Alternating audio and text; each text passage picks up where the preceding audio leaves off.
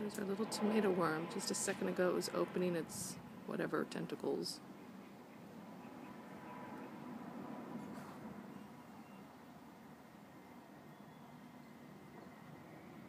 It's actually a very pretty worm.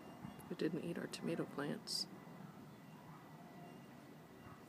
You can see on the back side here, it's got a really neat chevron pattern. And then there's that wicked hook. Hello, little worm.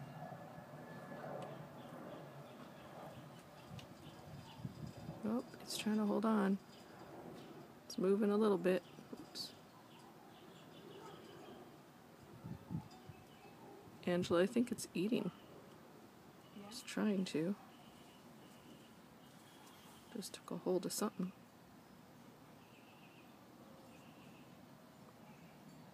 This is a tomato worm doing something to our tomato plant. It's gonna poop. It's gonna poop. Oh Ew, it's a tomato worm pooping.